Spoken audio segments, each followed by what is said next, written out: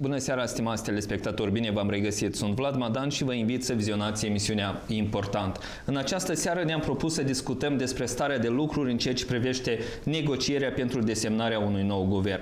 Invitații ediției de astăzi sunt Roman Mihăieș, magistru în politologie, analist politic. Bună seara și bine ați venit! Bună seara. Și domnul Grigore Cobzac, deputat PLDM. Stimați telespectatori, ținem să remarcăm că în cadrul acestei emisiuni au fost invitați și reprezentanții Partidului Popular European din Moldova și reprezentanții Partidului Liberal, dar cu părere de rău nu au putut să ne onoreze cu prezența. Pentru uh, ca să dăm start acestei discuții, propun ca regia să ne prezinte un subiect realizat de către colegii noștri de la Camera Știri, în care ne prezintă o stare de lucruri uh, și, de fapt, o îmbinare a principalelor evenimente ce s-au desfășurat astăzi la acest capitol. Rog regia subiectul, după aceea revenim în studioul la discuții. Primii care au venit la consultările inițiate de PLDM au fost liberalii. Aceștia au menționat că nu a fost pus în discuție numele unui candidat pentru funcția de premier. Totuși au dat de înțeles că susțin caietul de sarcini propus de liberal-democrați de a începe totul de la nivelul zero. Principalul este că carul sau căruța s-a pornit din loc un guvern cu un prim-ministru apolitic, dar ministrii politici și asta e un guvern politic. Și guvernul promovează politici, cum am mai spus. Și atunci dacă vine candidator din partea PLDM, e politic sau e politic? La fel și din partea PL sau PD. Rămâne să discutăm, să vedem. Suntem gata să ne asumăm în termeni. În două luni, în trei, în patru, într-o lună. Noi, liberali, niciodată nu am fost împotrivă ca uh, să facem reforme, legea să fie bună și uh, aceste reforme să aducă schimbări uh, dar, de fapt, vedeți că tot vorbim de reforme 20 ceva de ani și stăm pe loc. Și lumea este pe dreptate, pe bună dreptate, dezamăgită și în sărăcie. Vrem să constituim un nou guvern și vrem să resetăm instituțiile independente ale statului. Este absolut firesc că toate părțile care participă la aceste consultări și discuții uh, să nu pretindă că ar trebui să aibă careva funcții candidatul care urmează a fi votat trebuie să fie o figură uh, agreată prin consens, o figură de compromis care să nu provoace uh, din partea celor care vor participa la discuții careva reticențe sau rezerve. Mai mult ca atât, noi am menționat că fiecare formațiune poate veni cu propriile candidaturi care să nu fie din rândul partidelor. Noi am vorbit despre varianta 0 la momentul uh, acestor consultări și discuții politice. Uh, referitor la poziția de speaker, evident că în înțelegerea noastră actualul speaker urmează să-și dea demisia numai târziu de Uh, momentul investirii guvernului, iar viitoarea candidatură a, a viitorului președinte a Parlamentului urmează să o discutăm de comun acord. Cele mai multe viziuni comune PLDM le-a avut în cadrul consultărilor cu deputații neafiliați din grupul Leancă. Și aici însă problema cheie a devenit premierul apolitic, care nu a reușit să lucreze într-o manieră eficientă, a conchis Iurie Leancă. Poziția noastră este una foarte clară și simplă și clară cât mai urgent să ne așezăm la masa de negocieri. Din punctul nostru de vedere, un premier politic nu va reuși. Un guvern de acest gen este fără putere, nu este un instrument eficient pentru a realiza succese. Flexibil s-au arătat însă democrații. Aceștia însă au pledat pe un format de negocieri fără condiții și precondiții. Să lăsăm la o parte condiții, precondiții, sunt pozițiile partidelor, sunt idei, sunt viziuni care trebuie să fie puse pe masă, discutate cu toți împreună. Noi am manifestat flexibilitate, noi suntem gata să discutăm diferite opțiuni și diferite modeluri pe această cale, dând dovadă de o flexibilitate în poziția noastră. Dacă Lupu a catalogat consultările drept pozitive, liberal-democrații au fost dezamăgiți și asta pentru că nu ar fi primit răspunsurile pe care le așteptau. Nu am primit niciun răspuns clar, nici la unul din uh, uh, subiectele care au fost invocate de către noi. Înțeleg că colegii de la Partidul Democrat preferă să le numească precondiții sau condiții, noi le numim obiective finale, unele din obiectivele finale în aceste negocieri. Și sperăm mâine să reușim deja într-un format mai larg să obținem răspunsuri clare. În aceste condiții, liderii partidelor pro-europene din legislativ au convenit să se întâlnească mâine la o primă rundă de negocieri, în cadrul cărora vor pune pe masa de discuții viziunile fiecărei formațiuni. Stimați telespectatori, acesta a fost uh, subiectul realizat de colegii noștri din uh, redacția știri. Revenim la discuție. Spuneam ceva mai devreme, invitații emisiunii de astăzi sunt Roman Mihăieș, uh, analist politic și Grigori Cobzac, deputat PLDM. Domnule Cobzac, aș vrea să încep de la dumneavoastră. Ieri Consiliul Politic Național a formațiunii liberal-democratice a decis inițierea consultărilor cu partidele parlamentare. Astăzi putem vorbi de un rezultat în urma desfășurării acestor negociere, ieșind din subiectul pe care l-am vizionat un pic mai devreme? Eu nu aș fi așa de optimist ca și dumneavoastră și cei care i-am văzut uh, numai aici în cadru. Noi ne cunoaștem foarte bine partenerii de discuții. Apropo, noi am decis uh, cuvântul negocieri să-l excludem din lexiconul nostru, el nu sună bine deloc. Am convenit la discuții sau consultări și aș vrea să-mi critic în acest sens colegul de partid Valeriu Streleț. Uh, vorbeam că eu nu aș fi așa de optimist. Am văzut titlurile de știri de astăzi, foarte multe s-au referit la faptul PLDM a cedat și așa mai departe și așa mai departe. Nu este nici într-un caz așa. Noi avem acele trei. Bine, nu le numim precondiții, le numim obiective a noastre. Aici sunt de acord cu iarăși cu Valeriu Streleț. Le numim obiective și dacă nu le plac colegilor, numească-le cum vor. Dar Acestea sunt absolut necesare pentru a schimba mersul lucrurilor în țară și de a avea o guvernare care nu trebuie să aibă nimic comun cu cea care uh, a fost anterior. Partidele de uh, discuție au înțeles punctul de vedere al PLDM-ului? Sunt gata ca să ajungeți la un numitor comun? Eu mă îndoiesc de acest fapt. Eu cred că poate cei de la PL sunt așa puțin mai pozitivi. Am văzut pe Iurie Leancă. Eu mă îndoiesc de Partidul Democrat că vor fi până la urmă conciliatori sau cum să le spun, și vom reuși să identificăm acele puncte, acele obiective comune pentru a le realiza. Prea tristă este toată istoria relațiilor noastre anterior. Domnule Mihăieș, Domnul Gimpu spunea ceva mai devreme că acest car s-a urnit în sfârșit din loc. Este același punct de vedere uh, pe care îl împărtășiți și dumneavoastră? Bine, într-adevăr, din punctul de vedere a faptului că PRDM și-a schimbat tactica și a decis să participe la consultări, deja este o deschidere a ușii. Deja uh, apare un cadru de discuții în care... Noi nu am refuzat la obiectivele noastre nici într-o variantă. Noi am vorbit bine. Anterior noi am vorbit. Avem acele trei precondiții. Eu am insistat apropo să fie patru. Eu, eu sper că vom vorbi și despre a patra condiție astăzi. Haideți să le traducem condiții, ca să fie clar da, de discuții. Prima condiție a dumneavoastră este demisia șefilor de la CNA și de la procuratură, corect? Nu este numai nu, acest... prima condiție. Este așa ca să nu pierdem timpul emisiunii. Resetarea instituțiilor, scoatere de sub influența politicului. Adică nu puneți... Nu numai CNA și procuratura. Nu, da, nu puneți... Doar aceste două instituții. Obligatoriu, noi o vom cere. Ok, prima condiție am depășit A doua condiție... Și nu numai a CNA și a procuratura. Am zis, nu numai, dar... Da, desigur că... În particular, să zicem așa. A doua condiție, demisia domnului speaker, deja am văzut că domnul Străleț a probabil nu a anunțat poziția. El nu pune condiția imediată. Dar domnul Străleț pune demisia după mandatarea guvernului. Deci este o nuanță nouă aici. Sunteți de acord cu Nu, este, nu sunteți corect. Să fie foarte clar poziția noastră. Vrabia de mână, pe cea din par, noi nu o vom schimba. Eu citesc pe domnul Streț, el spune demisia speakerului Candu imediat după investirea uh, guvernului. Nu, până la. Că eu știu ce, ce s-a discutat la Consiliul Politic și apropo, eu cred că uh, celor care duc astăzi consultările cu colegii din PL, PPM și PD nu le va fi foarte ușor pentru că uh, obligatoriu etapele vor trebui să fie acordate cu deciziile Foarte bine că domnul Cozac bine să precizeze unele chestii, pentru că până acum doar domnul Străleț ne spunea ce a decis ieri PLDM-ul la Consiliu. Acum vedem că domnul Cozac face unele precizări, care sunt mult mai rigide decât ceea ce a vorbit, de exemplu, domnul Străleț după aceste negocieri.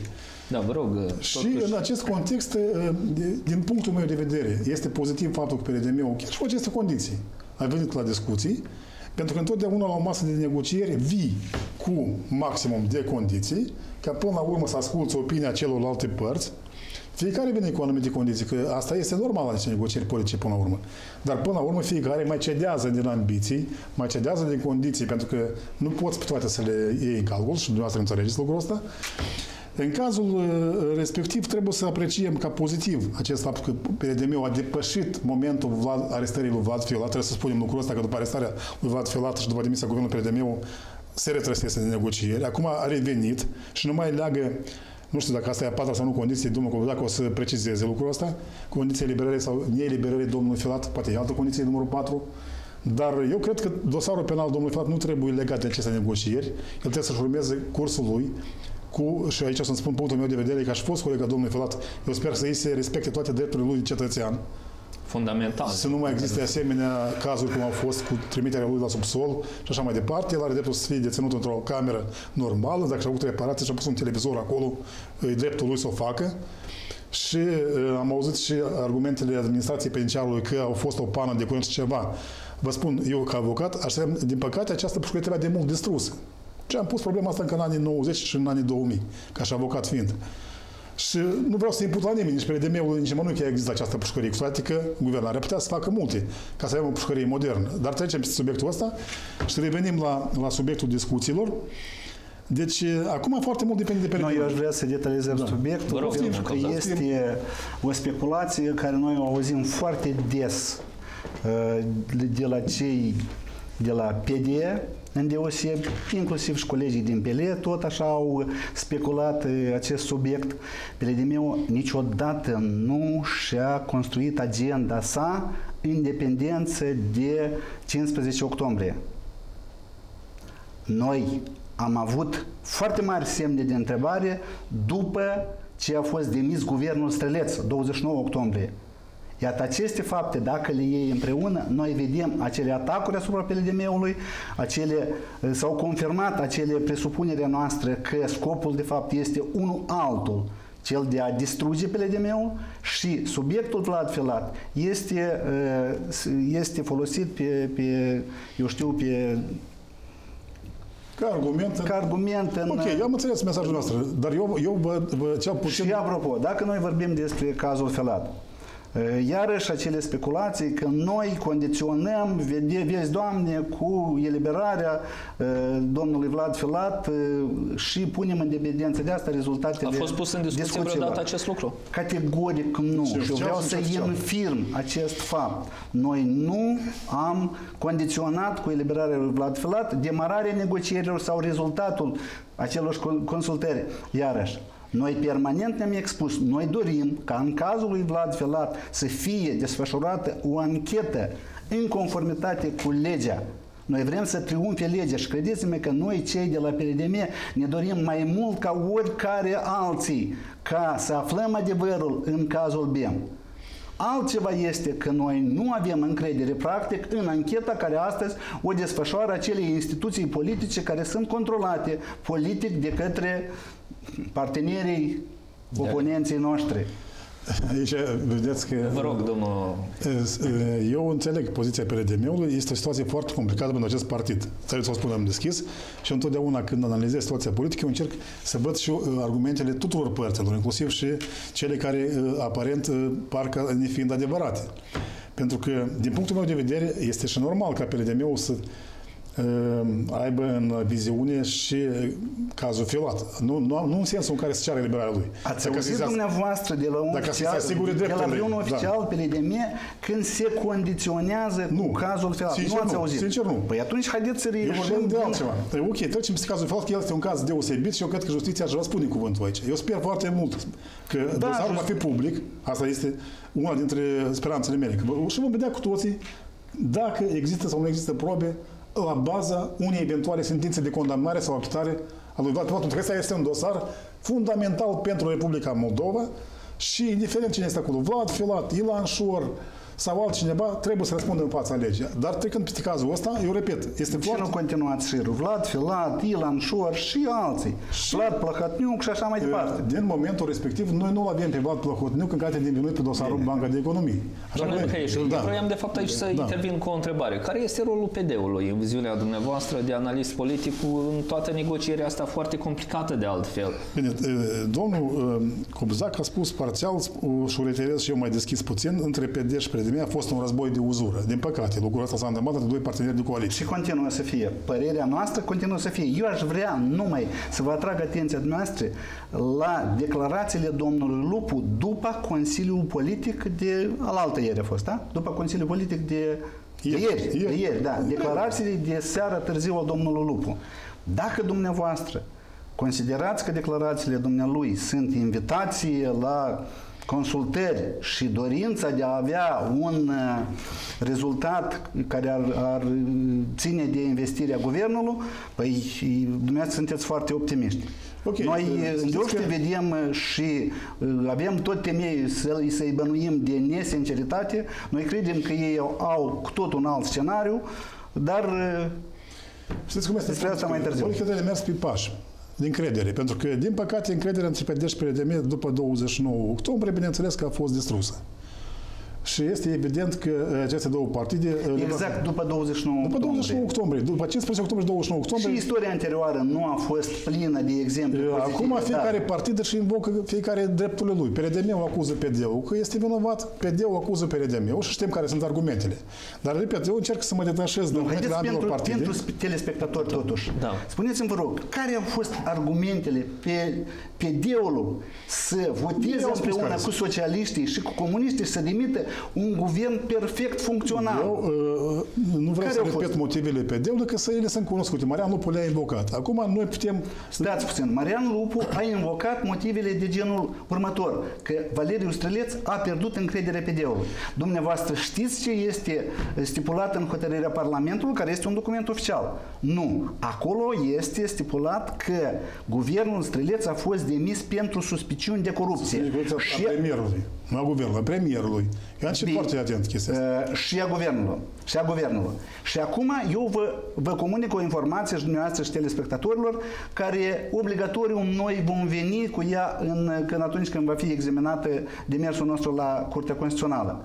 Noi am făcut demersuri oficiale la CNA, la Procuratura Generală, dacă în raport cu careva miniștri din guvernul Străleț sau cu însăși domnul Străleț sunt pornite careva cauze penale sau dosare penale. Domnul Deliu în acest nostru, studio ne-a arătat Răspunsul care noi îl avem oficial că nu sunt asemenea cauze și asemenea dosare.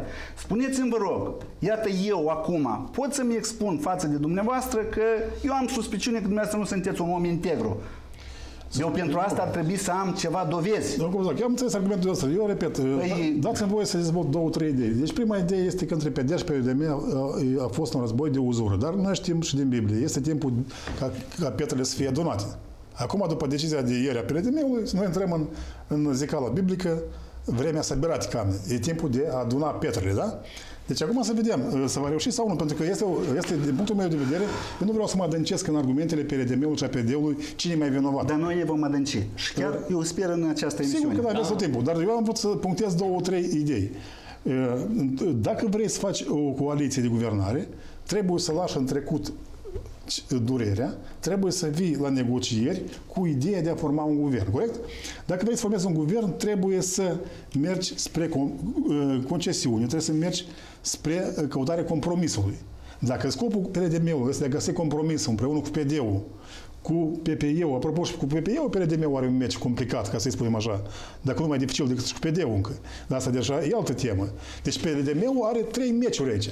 Un meci mare cu PD-ul, unde au diferențe foarte mari și probleme foarte mari. Un meci mare cu PPE-ul, Iurei Leancă, care se plecați de acolo, și încă prezintă pericol pentru PLDM și în continuare și dumneavoastră știți lucrul ăsta.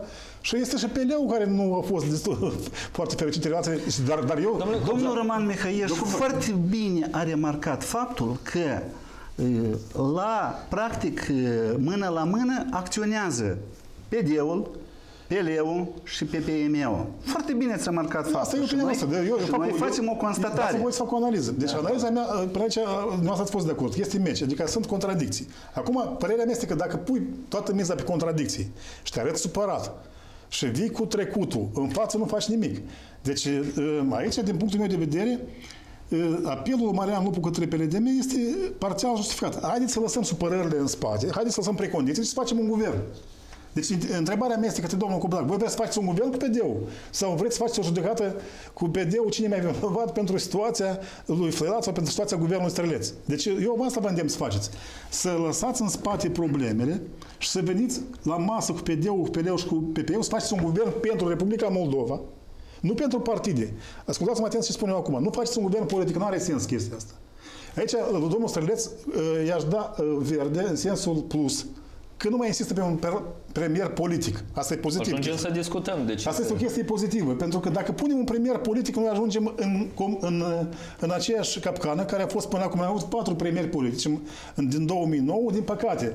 Ați văzut, doi premieri au fost demiși pentru uh, corupție, un premier stă în pușcărie, nimănui nu doresc asta, Doamne ferește, și așa mai departe. Deci, de aici, uh, iată că laud și pe domnul Străleț în ziua de astăzi, că a venit cu ideea asta bună. Guvern, premierul nu trebuie să fie politic. Însă nici guvernul nu trebuie să fie politic. decizia Consiliului. Decizia Consiliului. Decizia noastră colectivă. Și aici o să critic pe din, din PLS, pe cei din PPE, care vin cu ideea, haideți iarăși să facem o nuntă și un colhoz moldovenesc, să împărțim între partide, cum am împărțit până acum, toate funcțiile în stat, inclusiv cele din Nu, nu este bine lucrul ăsta. Domnule Cobzac, următoarea întrebare, da. de fapt... Eu aș vrea să da, mă expun și la subiect de suplimentar. Fapt, da, o... Noi nu acceptăm termenul supărare care îl utilizează cei de la PD și cei de la PL. Noi categoric nu acceptăm. Noi suntem responsabili și noi înțelegem foarte bine situația critică în care se află țara și în care se află acel curs european care noi am luptat atâta și ne-l dorim foarte mult.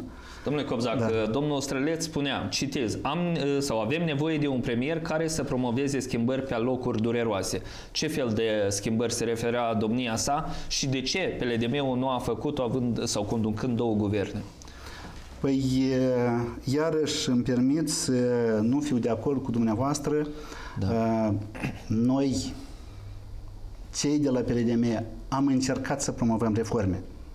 Iarăși, eu subiectul uh, Ministerului Educației și Educația Maia Sandu îl las pentru că aici chiar este un punct de vedere comun în societate care recunosc uh, începutul acelor reforme și care ar fi trebuit să fie continuate împreună cu Maia Sandu. Dar Revenim și la acest da, aspect, vreau. Da, desigur că da. Uh, noi am încercat să facem reforme.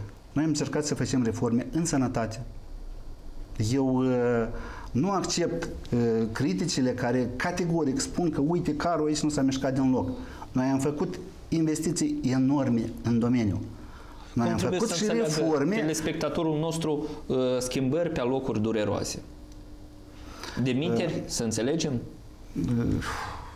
Eu nu aș spune că demiterile asta este ceva dureros sau de asta. Asta este ceva firesc. Uh, pentru că acolo, dacă noi constatăm că un domeniu sau altul este unul care este, unde nu se produc acele schimbări care le așteaptă societatea, desigur că acolo trebuie să venim cu demiteri, cu demisii, pentru că, uh, iarăși, cei care spun că, uite, trebuie să schimbăm, uh, vezi, Doamne, trebuie să schimbăm sistemul, dar dacă schimbăm numai omul din uh, capul sistemului, atunci noi nu vom avea niciun rezultat. Nu sunt de acord. Și iarăși exemplul lui Maia Sandu este unul foarte și foarte foarte vorbitor. Dacă noi constatăm că într-un domeniu sau altul nu sunt reforme, nu sunt acele schimbări care le așteaptă societatea, indiscutabil, noi trebuie să venim cu demiteri. Și în acest sens, eu aș vrea să menționez uh, decizia noastră de la Consiliul Politic este că viitorul prim-ministru, unul apolitic, trebuie să aibă acest drept. Dacă dumnealui solicită demiterea unui ministru sau altul, indiferent de apartenență politică, uh, el trebuie, solicitarea lui trebuie să fie, solicitării trebuie să fie dat curs. Și iarăși, și la, formarea, și la formarea guvernului, uh, noi considerăm că prim-ministru viitor neafiliat politic trebuie să aibă dreptul de veto.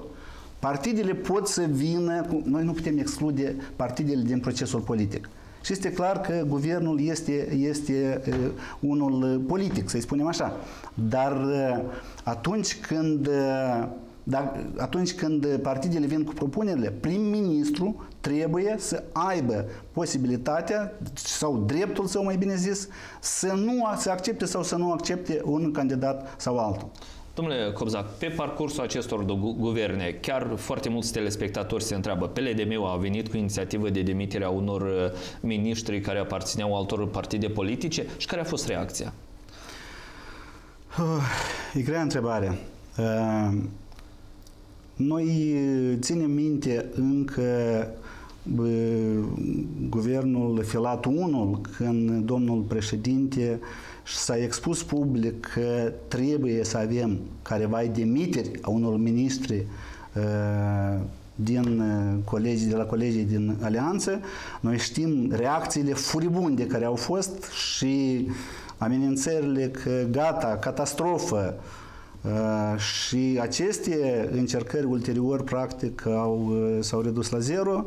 Nu s-a mai venit la această practică obișnuită de altfel în toată lumea civilizată.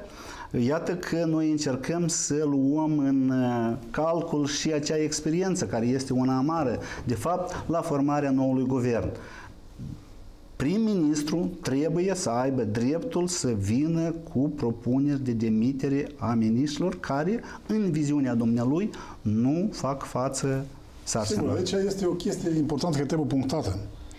Aceste patru partide stau prost în sondaje. Ele nu mai pot să facă un guvern politic. Asta trebuie să înțeleagă Mihai Gimpu și Iuri Leancă în primul rând. Și văd că asta înțelege PLDM-ul. Aici trebuie să-i dau o bilă albă la PLD-miști. Eu înțeles o chestie. Nu mai poți pui un premier politic, nu are sens lucrul ăsta. Pentru că răspunderea unui premier este foarte mare și acum nivelul de sarcini care stau în fața viitorului guvern este foarte și foarte mare.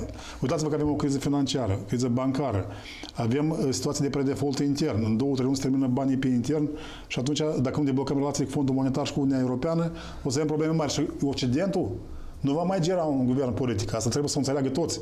Și PD-ul a înțeles lucrul ăsta. PD-ul este de acord cu faptul că trebuie... Occidentul nu pune condiții. Domnule... Occidentul dorește să facem reforme. Păi Occidentul uh, dorește să facem reforme, dar trebuie până asta să ai un guvern credibil pe intern și pe exterior. Domnule extern. Uh, Mihai da. și domnule Cobzac, luăm o mică pauză publicitară, după aceea revenim uh, la discuție în studio.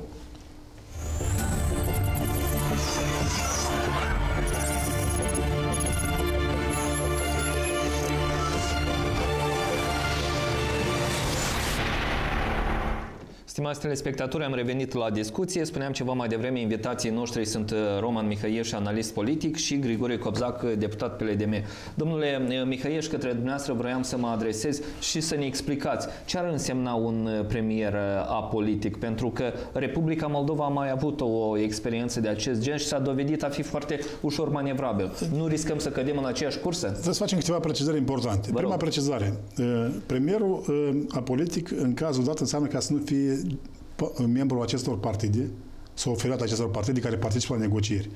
Fiecare din noi are opinii politice și, și viitorul premier, fără îndoială, va avea și opiniile lui politice, dar opiniile lui politice și opiniile lui privind eh, Republica Moldova și starea Republicii Moldova și soluțiile pentru Republica Moldova trebuie să convergă cu aceste patru echipe care negociază. Adică politica care va vrea el să o implementeze, să-i convingă pe cei patru uh, ne, uh, părți uh, care stau la negocieri. Cât posibil este acest lucru în condițiile... Uh, asta e unica soluție. Eu uh, repet, aceste patru uh, entități care negociază acum, ele au uh, guvernat Republica Moldova începând din 2009 și cu bune și cu rele. Au un anumit istoric. Acum, din păcate, ele stau în sondaje foarte jos, toate patru. Nu vreau să laud acum cineva, zic că stă foarte sus și grupul Leancă, și PD-ul, și PLDM-ul, și PL-ul se confruntă cu o încredere slabă a populației. Ele trebuie să producă un guvern care să relanseze pe toate patru sau măcar, sau măcar pe câteva din ele să le salveze. Pentru că dacă faci alegeri anticipate acum undeva în aprilie-mai anul viitor, o să fie probleme de trecere a pragului electoral ca minimum a PLDM-ului, asta e în mod cert, dacă nu chiar și a celelalte uh, componente. Cel puțin așa arată sondajele, repet, PLDM-ul stă la 2-3%, mai să știți, domnul Copzac, asta. Iar ca aceste trei, patru partide, patru partide, să le spunem așa, care negociază, să aibă o șansă pe viitor în politica moldovenească, ele trebuie să aibă inteligența și responsabilitatea să genereze un guvern cu un premier credibil în societate, dar și în exterior, la principale parteneri de dezvoltare a Republicii Moldova, care să producă niște reforme foarte dureroase în ceea ce privește reforma justiției, lupta anticorupție, lupta cu sărăcia, deblocarea uh, sistemului financiar bancar, care știți bine este la pământ. Și atunci este un, nivel, un premier care să vină cu bisturiu, ca un chirurg, să taie pe viu în câteva domenii, să scoată de acolo căpușele firmele, căpușe interesele politice, să le dea drumul la viață. Dacă reușesc lucrul ăsta, ele se salvează sau toate patru sau unul, două dintre ele. Dar dacă nu reușesc și fac un guvern politic de nanaș, de cumătri, de prieteni de copilărie, de amante și etc., o spun direct pe nume, cum a fost până acum, că să îmbărța până la urmă și funcția de portar, ele se duc în istorie. O să mai sta 3 luni, 6 luni, o să agază de putere 9 luni, cu în convulsie, o să moară în convulsie. Această alianță o să moară în convulsie. Deci ele au de ales să moară în convulsie, și într-o criză nemaipomenită politică internă, și, sau, dacă ei fac un guvern politic, Uniunea Europeană nu le dă niciun leu, niciun euro. La fel și fondul monetar. Și atunci ce am susținut ideea PRDM-ului. Trebuie un premier din afara partidelor. El poate să aibă, știți ce înseamnă politic. Nu trebuie să confundăm lipsa unei opinii politice cu, cu apartenența la un partid. Omul trebuie să aibă viziune, dar să nu fie membru de partid, asta înseamnă politică în punctul meu de vedere și nu trebuie să comparăm nici cu Tarlev, nici cu Gaburici, nici cu alții care au fost uh, până la el, pentru că din punctul meu de vedere, un guvern 100% nu poți să-l faci uh, de tehnocrați în condiții Republicii Moldova. Premierul să fie unul din afara partidelor, eu aș pune în jurul premierului doi sau trei vicepremieri de la partide, de la partide. Dar restul garditurii, toți miniștri, niciunul de la partide să nu fie, niciunul.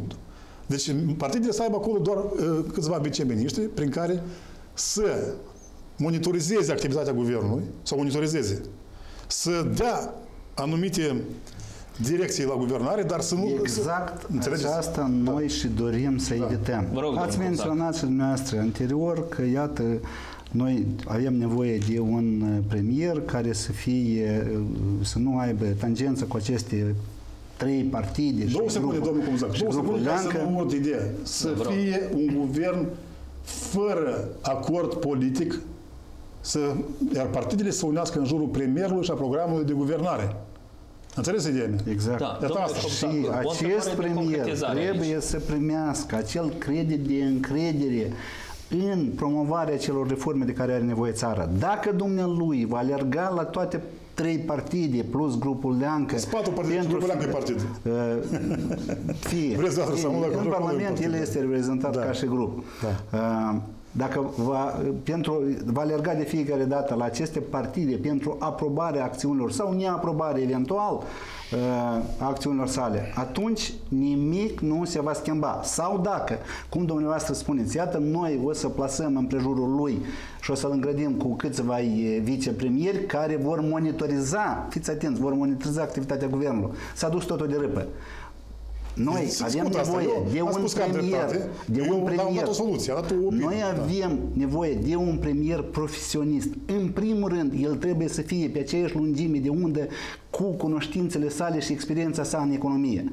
De cea mai gravă, cea mai principală problemă care o avem noi astăzi în țară este... Sectorul financiar bancar și sistemul economic. Uite, sistemul economic. Suntem într-un gând aici. aici vă spun, da. dați-mi voie să, să insist pe ideea asta să văd dacă domnul Cobdac e de acord.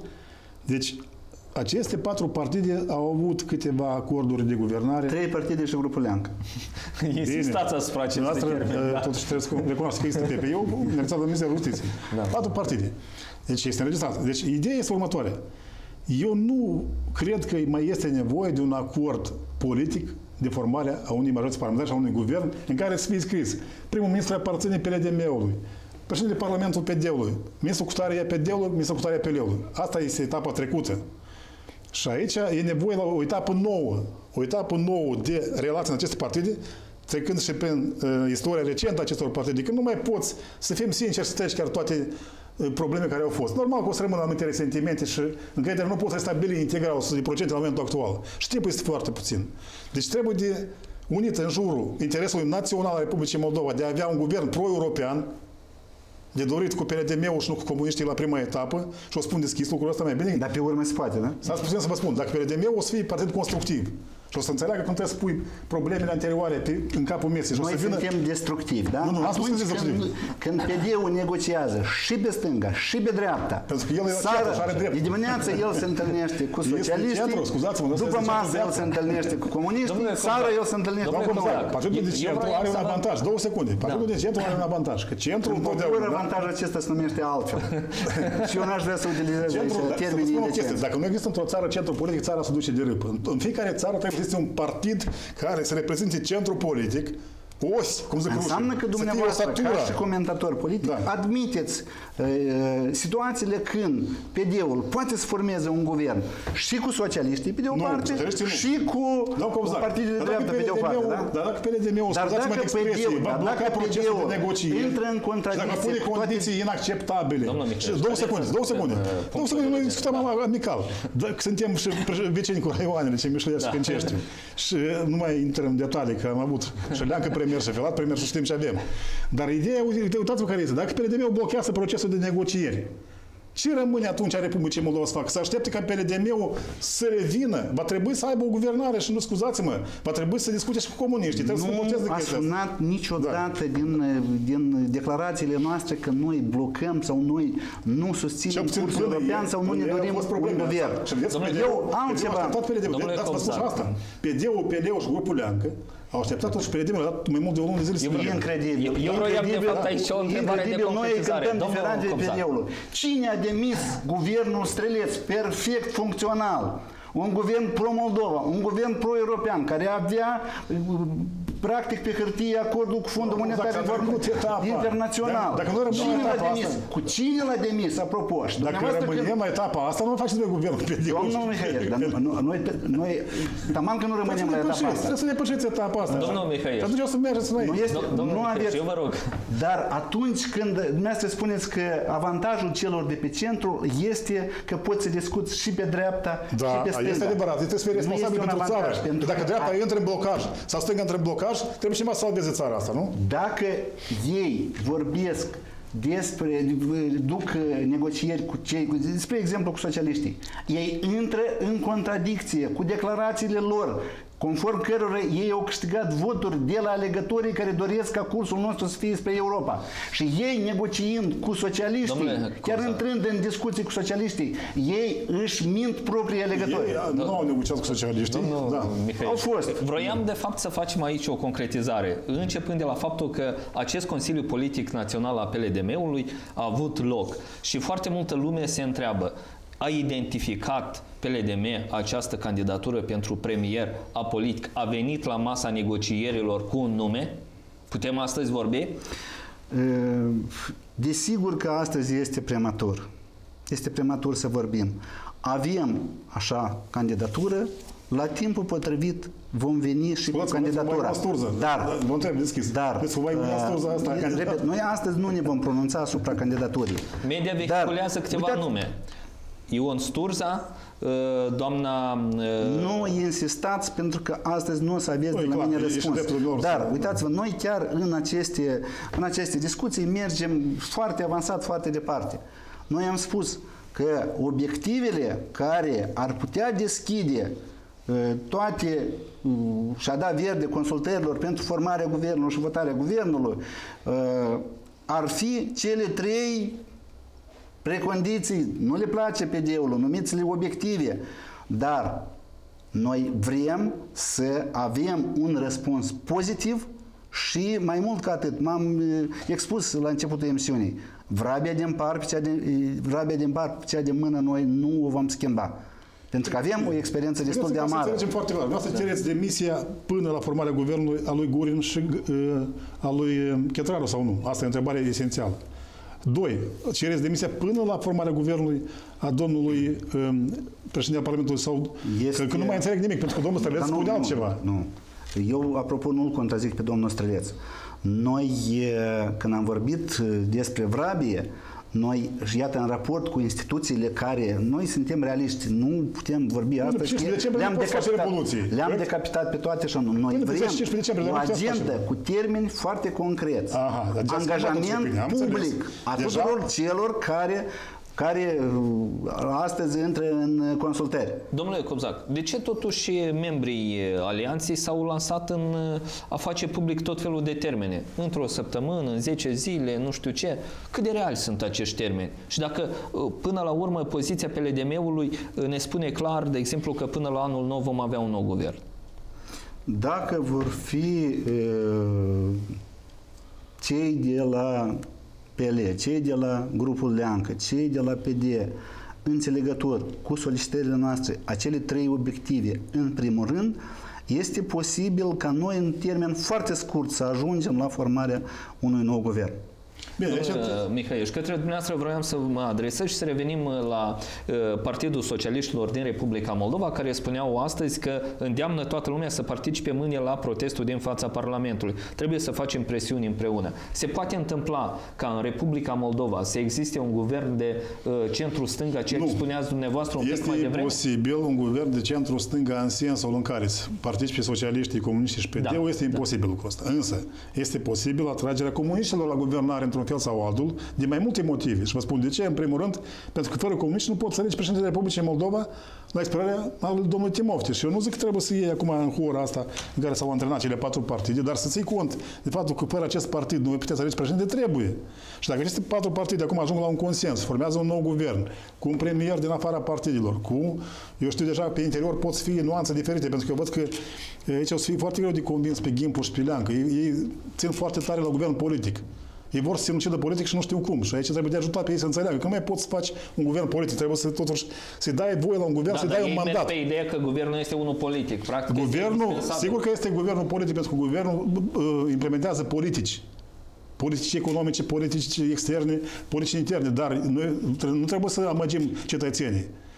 Guvernul implementează politicile care le votează Parlamentul. De, deci îi dai un mandat guvernului, nu pentru orice, dar îi dai un mandat pentru un program de guvernare. Exact. Care el citesc în, în, în Parlament, care el dezbată în Parlament. Exact. Și atunci este o Gimpuș cu Leancă induc în eroare cetățenii. Când spun că cum așa să existe un guvern chipuri tehnocrație, oricum o să implementeze politici. Normal că o să implementeze politici, dar o să implementeze politici care să, le dă, să mandateze tu în Parlament, nu ce le dă lor în cap. Că în momentul în care guvernul face un pas în stânga în dreapta, el este dat jos prin moțiune de cenzură.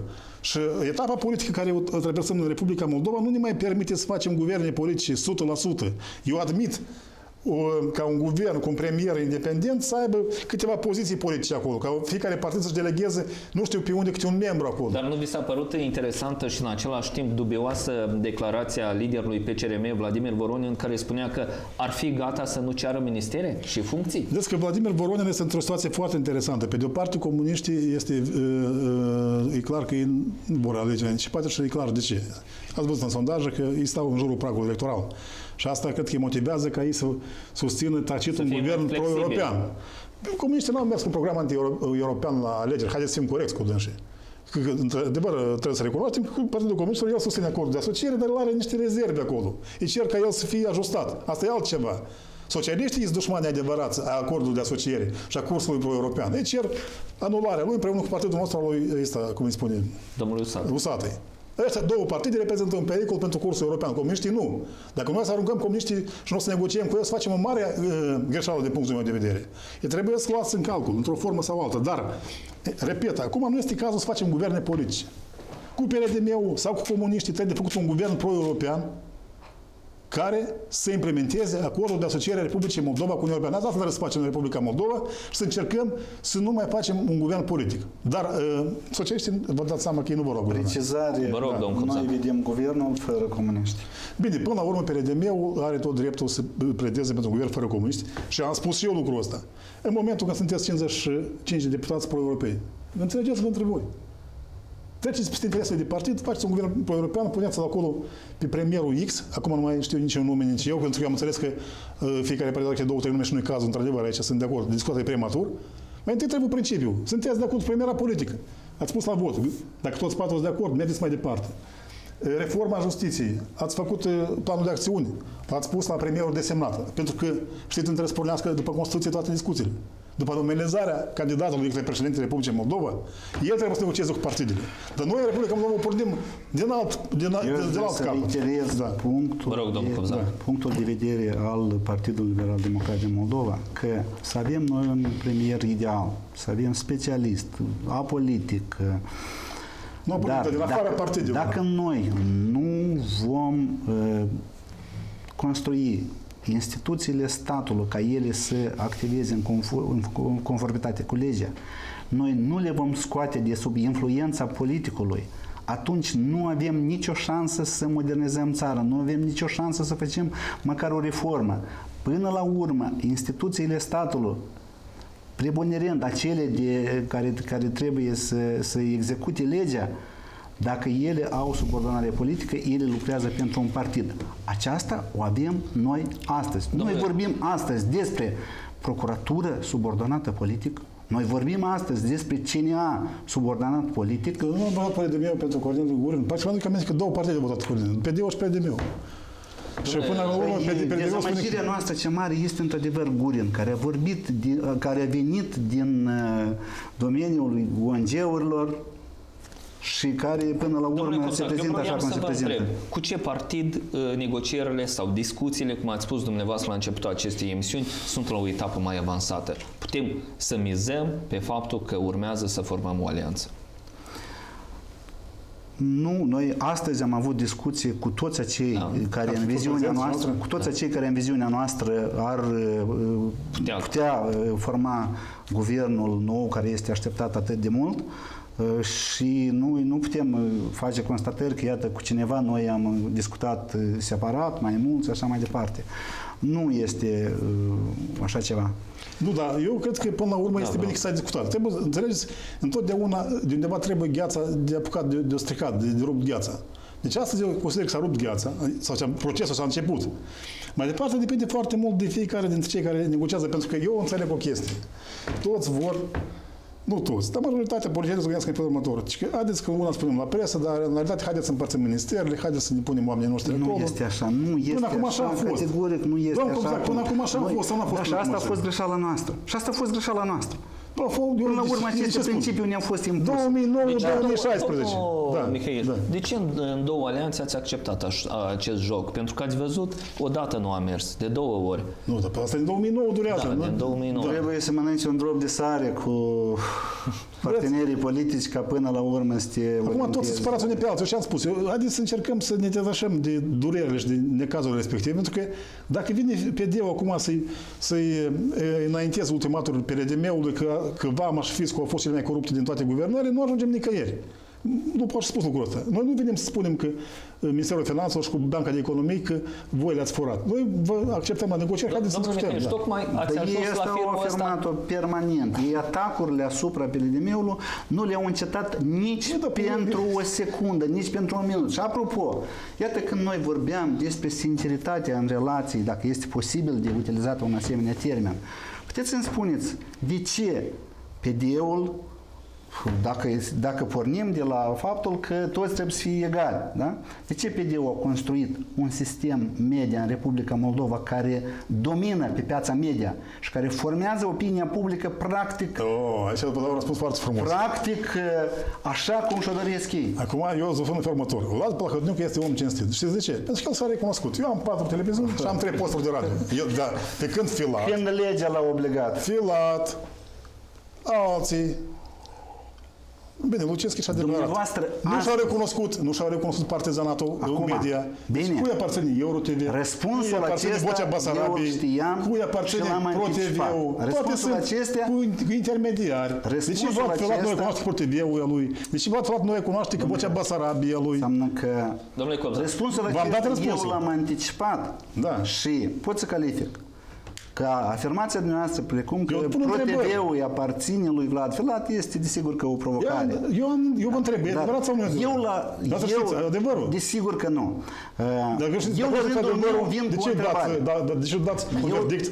eu la rândul meu vin cu o întrebare. Da. Spuneți-mi, rog, dumneavoastră ați observat posturi de televiziune uh, care în alegeri ar fi avut o poziție părtinitoare, o, o, o politică redacțională părtinitoare față de PLDM. Același TV7, care proprietar Haideți să sa nu este dăm Kiril nume. Lucian. Dați două secunde, tot de ce? Același sincer, TV7, da. același TV7 care este. Mie mi se pare că, că au avut o, o prestație TV7. foarte echidistantă. Nu există emisiune în care Natalia Morar să nu spună că Vlad ce Ciucă- are Haideți Natalia să Morar facem, cu uh, TV7? ca persoană Pentru că și la- TV7 se produce la Kiril Lucinski.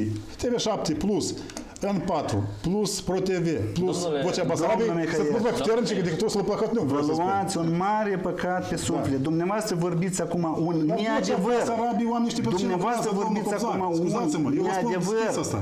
care în raport și cu TV7 și cu Natalia Morar vorbiți un neadevăr știind și conștientizând Dar acest Vocea Basarabiei de cui? neadevăr. De cui Vocea Dumneavoastră Basarabiei? nu fugiți de TV7 și nu fugiți de Nu Natalia fug eu de Morar. Natalia Morar. Natalia Pentru Morar că e destul de aici, decât lui Placă, în- dreptul ei să o facă, în dar etier nu direct, trebuie. dumneavoastră ați mințit. Atunci când ați vorbit că TV7 au avut o poziție care nu este echidistantă și că Natalia Morar Natalia ar Morar fi face propagandă Domnule pură. Mihaieș. Și eu mi-asum chestia. Natalia Morar Domnul, face domnul propagandă. Mihaieș, Nu, da. există instituții abilitate în uh, statul ăsta care Tu o nu să ai dat la urmează, opinii. urmează Nu ai da, dat la să opinii. facă uh, referire. Și am întrebat pe Da, domnul Cobzac, eu dar nu în final de răspunde. emisiune am uh, câteva Domnul Cobzac întrebări. nu răspunde spre vocea Basarabiei, trustul Radio și TV. Dar de ce domnul Cobzac nu răspunde la întrebarea asta? Haideți, pe final de emisiune, am o întrebare uh, adresată ambilor uh, invitați. Ceea ce s-a întâmplat astăzi cu fostul președinte BEM, se înscrie în, uh, într-o răfuială politică, se înscrie în ceea ce se numește resetarea uh, instituțiilor Întrebarea care o statului punea sau- ieri procurorul orașului Diacov, de ce nu i s-a permis lui în 2012 să-l aresteze pe Gacichevici, dacă ați privit, eu am privit, e- este una pertinentă. Este o întrebare care el a pus-o la plecare, cu toate că el a făcut multe declarații politice acolo, dar Gacichevici cu Șor, Ăștia sunt doi uh, administratori ai băncii de economie care știu în mici detalii ce s-a întâmplat în banca asta, cu cine s-a operat Șor. O parte din adevăr, eu consider că a spus-o când l-a denunțat pe Vlad Filat. Eu mă aștept că acum Gacichevici să spună și el cu i-a dat creditele respective neperformante, pe gajuri inexistente sau pe gajuri simbolice, pe ce Asta ne firme... va ajuta să formăm un nou guvern? Pentru că asta era tema Eu repet, centrală. dacă PRDM-ul vrea să facă un nou guvern, el are o singură soluție. Să nu înceapă PRDM-ul, PD-ul și PL-ul să-și aducă aminte de bubele din trecut. Nu, nu, asta nu o să ajunge la nimic. O să antagonizeze mai mult și eu nu doresc lucrul ăsta. Eu vreau un guvern. Atât aici, de ce am spus ce a spus uh, Strălețcu? Eu nu mă așteptam la o așa declarație, dar trebuie să o susțin dacă a făcut-o. El spune, guvern, premiera politic. Asta e unica soluție. Un guvern și facem programul de guvernare, îl susținem în Parlament fără acord politic, nu ce o să meargă. Măcar pe jumătate de an, un an. Dar dacă să, să Măcar încep... cu ceva sunteți de acord cu noi. Da, sunt de acord. Dar dacă PDM-ul pornește uh, vendeta, hai să-l dăm jos pe Gurin că l-a uh, arestat pe Filat, sau hai să-l dăm jos pe, pe, ăsta, pe Chetraru, că nu ne convine Iarăși. cum el produce bă- dosarul Banca de Economie, ne blocăm. Domnul Cobzac, Iarăși vă domnul lăsați, Cobzac, ce da. s-a întâmplat cu pre, fostul președinte BEM? Ce e? Desigur că noi nu trebuie să ne dăm cu părerea la fiecare acțiune a justiției care este în Republica Moldova. Ce ține de cazul BM, noi reiterăm punctul nostru de vedere. Trebuie să fie o justiție echidistantă, bazată pe lege, fără implicarea politicului. Cu părere de rău, la moment noi nu putem afirma că este așa ceva. Dar așa cum sunt instituțiile noastre acum. Noi niciodată nu ne-am pronunțat ca să, iată, uh, sau mai bine zis altfel, voi spune, uh, atunci când noi uh, solicităm demisiile conducătorilor CNA și a procuraturii, nouă ne se reproșează că, vezi, Doamne, uite, asta o să pericliteze ancheta lui Vlad Felat, da? Ancheta lui Vlad Felat este dusă de un grup de procurori care, apropo, care ei operațional sunt independenți. Și chiar, iată, acest grup de procurori, de anchetatori, el este, rămâne intact și ei acționează, trebuie să acționeze în baza legii. Afirmația că dacă noi demitem procuror general și iată va fi un caz când trebuie să îi se retragă imunitatea la un parlamentar, nu o să aibă cine o face, este fals. Este fals și asta s-a dovedit în Parlament. Sunt adjuncții care pot veni în plenul Parlamentului cu asemenea solicitare. Dar eu reiterez, poziția noastră este, noi ne dorim o anchetă, apropo, care ar trebui să fie urgentată, pentru că noi constatăm că cazul Vlad Filnat este folosit de către oponenții noștri politici în realizarea scopurilor sale. Iarăși vreau să vă aduc aminte despre declarațiile lui Lupu pe cazul acesta. Desigur că ele urmează ca electorat, ele uh, au ca și țintă electoratul nostru ca să-l, să-l disperseze și să, să-l acapareze până la urmă. De ce? Noi o, noi o considerăm, aceste, le considerăm aceste declarații ca și imixtiune în anchetă. Și apropo, la acest caz ar trebui să se pronunțe procurorul general. Domnul Mihaiș, domnul Cobzac, eu țin să vă mulțumesc pentru participarea la această emisiune, pentru punctele de vedere împărtășite aici. Stimați telespectatori, în emisie directă a fost emisiunea important. Sunt Vlad Madan și vă reamintesc că astăzi am discutat despre starea de lucru în ceea ce privește negocierea pentru desemnarea unui nou guvern. Invitații noștri au fost Roman Mihaiș, analist politic și Grigore Cobzac, deputat PLDM. Eu vă mulțumesc încă o dată pentru participare și, stimați telespectatori, vă urez o seară bună alături de TVC 21. Să noi vă mulțumim pentru invitație. Mult succes!